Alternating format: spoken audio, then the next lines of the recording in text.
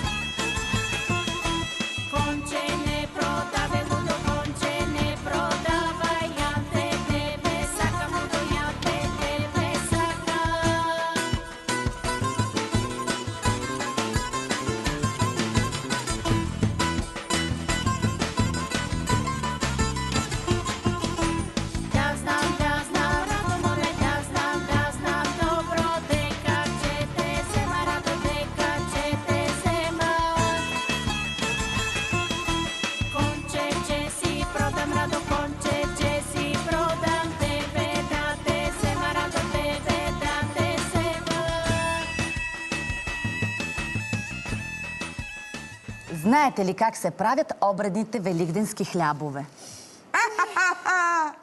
Ми знаем как да не знаем. Ти ли ще ни кажеш? Великденския хляб се прави като хляба на бъдни вечер. Като две капки вода са. Същите, същите, ама не са същите хлябове, различни са. Различни са. Във великденските хлябове се слагат великденски яйца. Моята свекърва слага четири великденски яйца червени и едно бяло по средата. Е, е толкова много?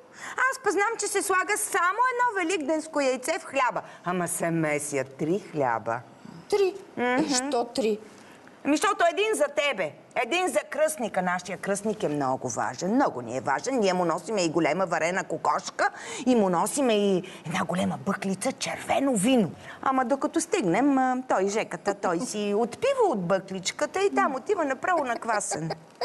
Ние носим а, хляб великденски на моите родители. Е, па как? Ами да, това е втория великденски хляб, Да. ако в къщата има млада булка, а третия остава за нас. Тъй, тъй. Ние с Жеката миналата година, като занесахме великденския хляб и той да вземе на, нали, из пътя да се напие. А ти къде беше? Къде беше ти?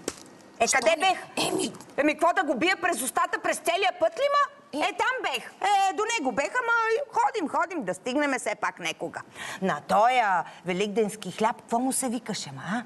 На този великденски хляб по нашия край му викат колак. А, така, великденски така. колак. Е, така. Този хляб пак е квасник и пак има четири яйца. Четири червени, а и пето по средата бяло. тъй, тъй. Ей, в селото на моя Жеко, начи, му викат великденски кравай. Прости са, ма, прости са, ма. Пу, всичко име на обратно па на тия. Най-обичам, като е готово всичко и хляба да се сложи на трапезата и всеки да си щупи по един залък. Ей, тъй правим и ние, ама, ама по, преди това вземаме по едно великденско яйце, бело и ей така се комкаме за здраве. А, а свекърва ми взема червените яйца и ги скътва за лек да има през цялата година. О, прави сте, браво, тъй се прави. Тъй правим и ние. Но всичко това става преди някой да е хапнал нещо влажно. Ха? Да не сте посмели да хапнете преди комката нещо влажно като месо. Никогиш. Значи, Лани, като одихме при кръстника, и моя, нали, се наквасил още по пътя и като виде пръшките и се фърля там. И аз бой под масата, бой, назад ръката. Нема се излагаме ние пред кръстника и пред комама. Е, ма вземи скри тая ракия да не прави такива Ама бели. спри му пиенето. Ама как ще спрема? Ще стане война, Боже! Ум немате от тия убави глави никакъв мап. И всички тия обреди, свързани с великденските хлябове, трябва да ги правим така, както са ги правили нашите баби и прабаби. Да. Както си му е реда, Да. защото иначе ще изчезнат от нашия живот. Не бива да изчезва той, дето нашите баби и прабаби са живели и преживявали. Как? А той козунаците, дето сега всички ги правят, ами то едно време не ги е имало. Едно време не са правили козунаци, правили са само великденски хлябове. Ето и козунака си е хубаво нещо, така сладичко. много хубаво Е, нещо. как бе? И добре, хубаво е, хубаво е.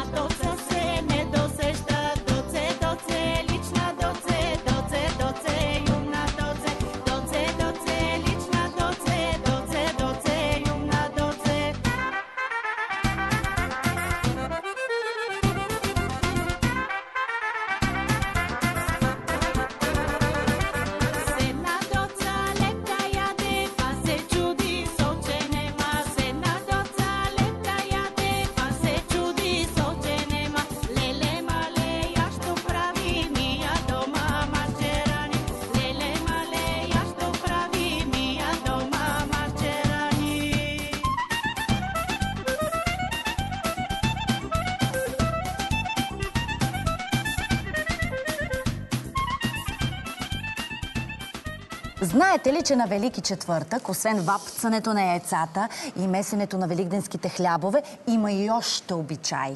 Знаем как да не знаем. На този ден ние, когато бяхме деца, ходехме по къщите и подарявахме китки от здравец, а домакините ни даваха по едно бяло яйце и сребърна паричка. На този ден не се работи нищо. тъй, Нито тъй. се пере, нищо не се прави. Тъй, И не се впрягат воловете. Моя Жеко миналата година иска да впрегне воловете. О! Не може да се впряга добитъка, особено на Велики четвъртък, защото селените ще му щупят колата на парчета, ще я направят. И не само това, е много лошо, ако разберат, че са го направили Жеко. Ами разбира се, аз не му дадох, ма два шамара и в храстите. Къде Той, на той, Велики той. четвъртък си тръгнал, бе? Пфу! Тъй, тъй, тъй, тъй. На Велики четвъртък, ако някоя сиромашка жена отиде в богаташка къща и вземе малко от младия квас, да знаете, че тя отнася богатството от къщата. Ние затова си пазим кваса. Къщи на никой не го даваме. Твоята свекърва е стипца. Е, Тя на никого нищо не дава, зато и пазите и кваса.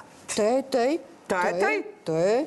Аз, да ви кажа, много обичам да изписвам великденските яйца. Е, Ама той е голям майсторлък, много нещо трябва, за да изпишеш едно яйце красиво. А, Моята свекърва се ми натяква. Ти си гледана като писано яйце. Писаното яйце стои много по-високо от обикновеното великденско яйце. В писаното яйце се вижда колко труд и любов е вложил този, който го е изписвал. Аз знам, че писаното яйце се дава на скъп гост като дар. То не се яде, с него не се чукаш, то е само за гледане. във всяка шарка на писаното яйце е нашата душевност. Който има душевност, де. Да. И това трябва да стане красиво, като картина за изложба. На времето, кога се залюбих с моя мъж, ми прати едно писано яйце и в шарките на яйцето аз прочетох сърцето му. Все едно, че написаното яйце беше любовно писмо. Ау, ти бая яйца понасъбрама през годините. Да не излязоха запъртъци някой? Някои бяха големи за Нали? Тъй, тъй. Е, Ех, изписването на яйцата е един от най-радостните мигове. Момите, дето пишат тези яйца, гледат да излеят душата си във всички тези венчета, цветчета, вейки, чертички, сърчица. Е, всяка мома изписва яйце за своя любим. А всяка булка изписва по няколко яйца. За майка си, за баща си, за свекървата, за свекара, за девера, за комеца и за комът. Те, те, те. Нали знаете, че аз малко си падам народна певица и дорде изписвам яйцата и им пея? Верно! Да, разни народни песни. Искате ли да ви покажа как? Е, Не, не, искаме да ни покажеш нищо от пеенето ти. Ние тук сме си поканали певци, тех ще слушаме. Нема тебе да те слушам,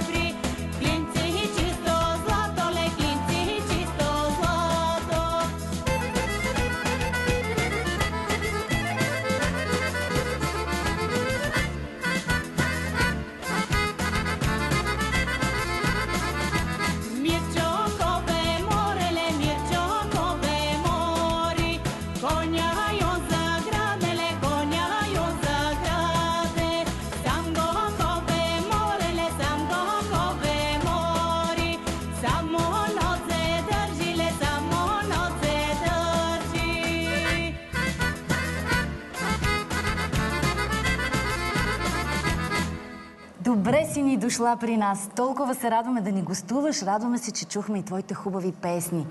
Знаем, че си от Кюстендилския край, от село Граница. Разкажи ни повече за фолклора. Какъв е кюстендилския фолклор? Разкажи ни и за твоето детство. Ами, добре заварили, както казват в нашия край. А, изключително съм радостна да съм тук.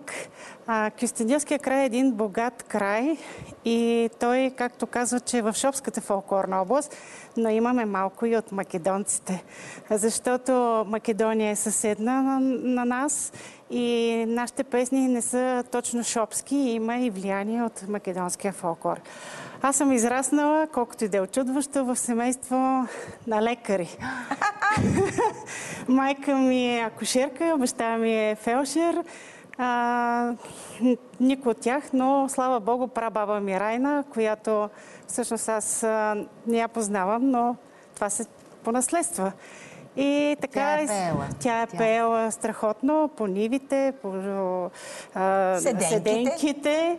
И така, а, в моето детство за първи път започвам да уча музика. Още на 6 годишна възраст в детската градина, моите учителки в детската градина ме откриха. След това започнах да изучавам акордеон при ръководителката на небезизвестните сребърни звънчета Ангинила Милева. След това започнах при Стоян Плачков а, да изучавам тамбура. Той ме насочи към народното пеене и се назовах в Средно музикално училище Широка лъка. Ти си дълго време певица в ансамбъл Пирин. Солистка. Я кажи нещо за това време, бе. Ох, беше прекрасно. Беше невероятно. Аз на 19 години започнах в ансамбъл Пирин с едни огромни конкурси, които тогава се провеждаха.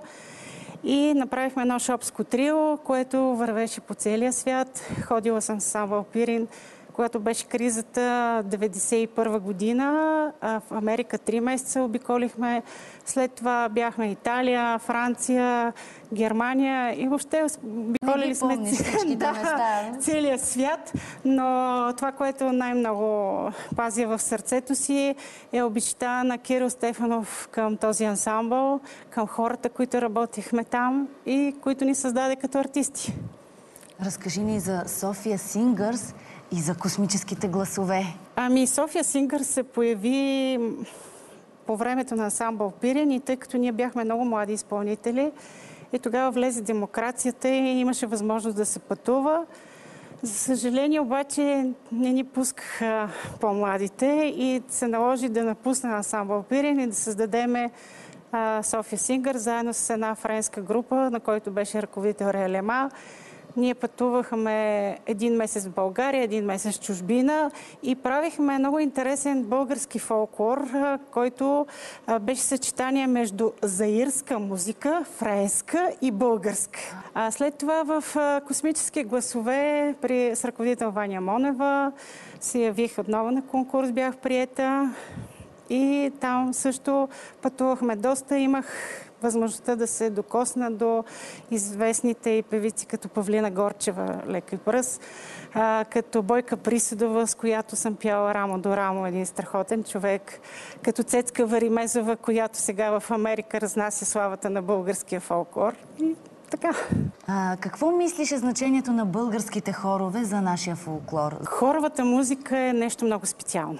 Хоровата музика е а, нещо много космическо, защото аз имах щастието да бъда на 60 годишния юбилей, подготвен от космически гласове от, а, на Красимир Кюрчийски.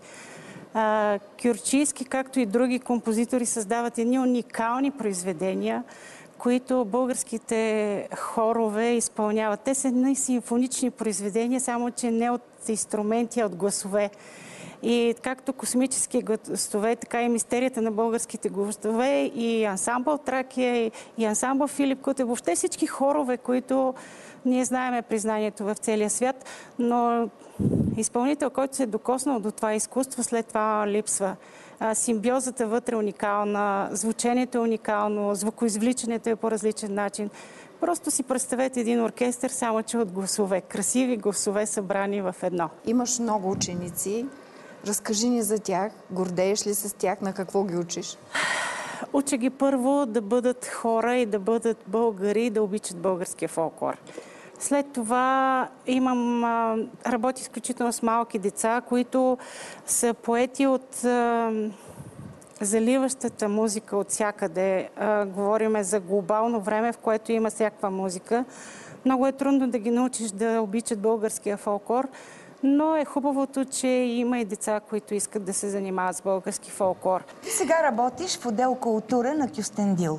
Да. Кюстендил е известен с много празници и фестивали. Сега, аз си сещам за четири. На плодородието, на черешата, на хляба. Панегия ли се казваше? Да, въздигане на хляба. Въздигане да. на хляба. Кажи за още нещо, бе. Ние правиме а, заедно с читалището от региона едни красиви щандове, които изключително са наредени различни сортове череши. Нашия институт в Кюстендил предлага, не знам, ама сигурно са над 20-30 сорта различни череши. Имаме бяли, червени, розови, всякакви, Хрупкави. но хрупкави. И можете да дойдете на този празник. След това Панагията е, това е културен форум. Той, а, нали, малко е свързан и с църковното, нали, месенето на а, питка за Богородица. Тогава правиме така наречените обредни хлябове, които ги изкарваме на площада, хората да се насладят на изкуството на жените, как всъщност да се запази тази традиция жената да меси в къщи, защото ние съвременните жени сме се научили малко по-наготово. Да си поръчаш там и готово. Но е хубаво човек да замеси мисълта на месенето и, се казва, че когато месиш, трябва да мислиш хубави неща, за да ти се случат хубави неща. Да си жива и здрава, още много песни да изпееш, пак да ни гостуваш и пак да ни разказваш такива интересни. Благодаря и аз за вашето гостеприемство.